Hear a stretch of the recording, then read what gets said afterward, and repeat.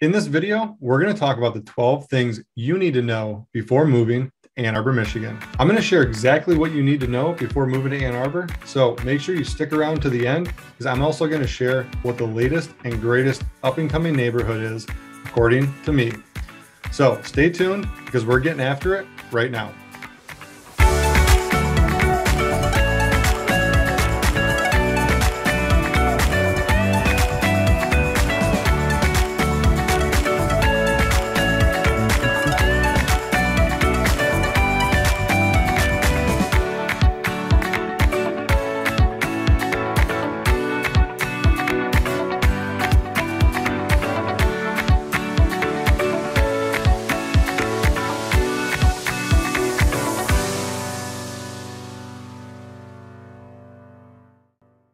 Hey, if you're new to this channel and you want to know everything there is to know about living, sleeping, eating, breathing, and playing right here in Ann Arbor, Michigan, then go ahead and hit that subscribe button, tap that bell so you're notified every time we drop a new video. My name is Eric Meldrum, and my team and I are getting calls, texts, and emails literally every single day from people just like you, you, you, and you who want our help moving to Ann Arbor. And we absolutely love it. So, whether you're considering moving in one month or one year, you got to get a hold of us. Give us a call, shoot us a text, send us an email. So we want to help make that a smooth move to Ann Arbor. All right, so let's get into it. Here's the 12 things you need to know before moving to Ann Arbor, starting with number one, which is annual events. Some of the biggest events he- happen here in Ann Arbor, but there's also some great events in the surrounding cities, um, such as Dexter, Saline, Brighton, and Northville, Plymouth. Some of those cities have their own great events, but one of the biggest events here in Ann Arbor is what's called the Ann Arbor Art Fair. If you haven't heard of it, we'll drop a link below in the description. Um, this is an amazing event. Artists come from all over the world. People come to see their art from all over the world and country. And it's just one of those big, massive events that Ann Arbor is really, really known for. Being an art community, Ann Arbor already has some amazing artists and this just really ties the, the culture and the vibrant art community together by hosting this annual event every single year. All right, coming in number two is the food. So if you're a foodie, kind of like me, I don't call myself a foodie, but I can throw down some burgers, I can throw down some tacos, whatever you want to do, I'm game for it. I like all sorts of foods. And Ann Arbor has been an amazing place for me, my wife, and kids to explore new restaurants and just new culinary experiences. So if you're somebody that likes food, we got a lot of food options here in Ann Arbor, ranging from Mexican to Cuban inspired food, all the way from Chinese, Korean barbecue, Thai places, you name it, we got it. The food here is amazing. And if you pair that with some you know local breweries, you get yourself an amazing experience. All right, coming in at number three is the outdoors. So if you're somebody that likes to just be outside, enjoying nature, Ann Arbor is a great place to do that. The city's super walkable and the surrounding area has a ton of recreational centers, such as the Waterloo Recreational. This is a, a place that has 20,000 acres full of biking trails and just really fun activities for, for you and the kids or you and the family to do. If you like to be on the river or maybe you want to do a water activity, uh, the surrounding area, there's tons of lakes um, that you can go to. Some of them have public beaches. The Waterloo also has a public beach too um, but you can kayak and canoe, which runs right through downtown Ann Arbor. All right, coming in at number four is the nightlife. So if you're somebody that likes to go out, have a good time, Ann Arbor, you can find a lot of things to do in Ann Arbor. You have things like the Blue Llama Jazz Club, comedy clubs, there's concert venues here in the city. There's just always something going on. But in addition to all the fine dining, you just want a relaxing night out for a nice dinner that can be found pretty much on every street corner. All right, number five is population. Here in Ann Arbor, it is the sixth largest city here in Michigan and the 251st largest city throughout the entire United States. So if you're looking for somewhere that doesn't have a lot of people, um, but is still a really, really awesome downtown area with a lot of things to do, Ann Arbor is probably the perfect place for you. It's less densely populated than a lot of the other cities, such as like Royal Oak, Birmingham, Ferndale, um, but it's less populated on the outer outskirts of Ann Arbor. So if you're looking to get a little bit more room when you move into a home, you can move into some cities like Dexter, Saline, Brighton, Pinckney. All those areas give you a lot more, but you're really close to the city. All right. So number six is diversity. So who lives here? Who lives in Ann Arbor? What type of people? Well, all walks of life. I mean, this is probably the one of the most diverse cities I've ever lived in my entire life. We have the second highest Japanese population in the state of Michigan. 17.4% of foreign born residents live right here in Ann Arbor, Michigan. So if you're looking for a city with diverse population and some awesome cuisine, then Ann Arbor's probably for you. All right, number seven is the shopping. And no, we're not talking about Macy's or J.C. Penney's or any of those big box stores that you can find in every major city. Yes, they do exist here in Ann Arbor, um, but we're talking about local shopping downtown Ann Arbor.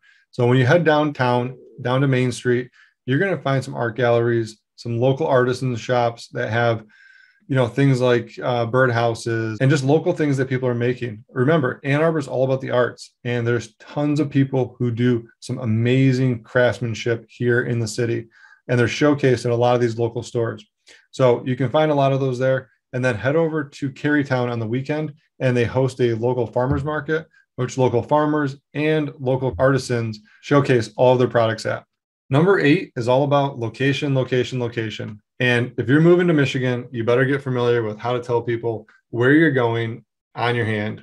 This is Michigan, and right here is Ann Arbor. We're about 45 minutes from Detroit, and we're about 45 minutes from the border of Ohio. Some other cool cities on the outskirts of Ann Arbor are places like uh, Howell, Brighton, uh, Milford, Plymouth, Northville, Saline, Dexter. All these places are alternative options if you're looking to be close to Ann Arbor, close to Metro Detroit, um, but not in Ann Arbor specifically. We've also done some videos on those places as well, so check those out in the link below. Number nine is how family friendly Ann Arbor is. So things like downtown Ann Arbor have actually some pretty cool things. You got the hands-on museum. Take the kids in there. They're going to tinker for hours. Let them run around, play with stuff. They got science experience. They're, they're also going to learn a ton of stuff down there as well. So check out the hands-on museum. Um, another cool thing that my girls love to do, and which is my household family favorite, is the secret fairy door hunt that they have downtown Ann Arbor.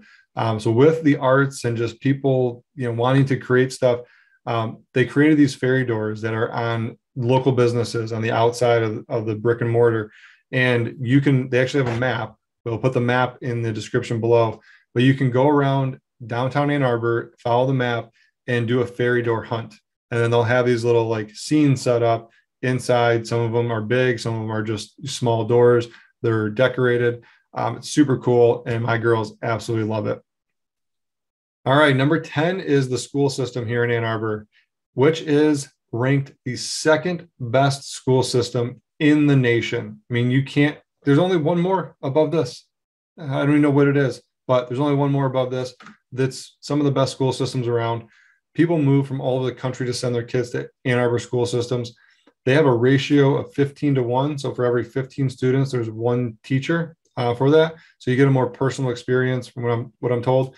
Um, you also have other schools, private schools here in the area that people move from around the country to send their kids to as well. So whether you're sending it to public or private, you got a ton of options here. The number 11 is the cost of living. Well, I'll be the first to tell you that Ann Arbor is not cheap, but it's not super expensive either. The closer you get to downtown Ann Arbor, the more you're going to pay. Just like any major city, condos downtown Ann Arbor in the high rises, those are going to be more expensive. As you get further out, the cost of living is going to go down a little bit. But from the national average, Ann Arbor is not that expensive. Um, it's actually below the national average.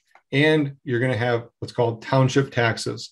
Township taxes are going to be lower than the city taxes and save you a couple bucks in the long run.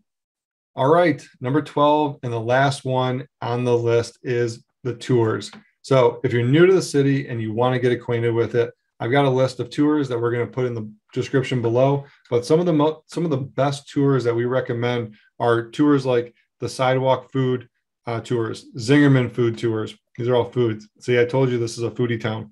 Um, High Five Pedal tours, the Jiffy Mix plant tour in nearby Chelsea. And they also have a Michigan Stadium tour. So you can go check out the stadium, look in the big house.